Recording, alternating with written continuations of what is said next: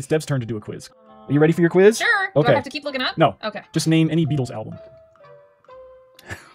I'm already loving this. Yellow Brick Road. Can you name the Beatles' first and last name, all four? No. Really? No. We'll try. John Lennon, Paul McCartney. The drummer. You have no idea who the the drummer drummer? is. You can't even think It's of his first Bono. name. Last name? Do you know last name? Starr? Yeah. I thought he was like a comic book character. right, and the lead. All right, John, Paul, hmm, and Ringo. Who's the hmm? I have no idea there was another Beatle. Come on. You thought there were three?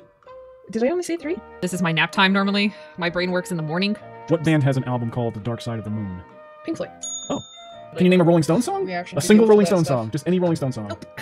What band is Roger Daltrey in? Have you, do you, Who? have you, okay. yes! No, really? It's the Who. kidding. no. Thanks for being a good sport. Sure. We're going to laugh at your expense, but That's I'm fine with that.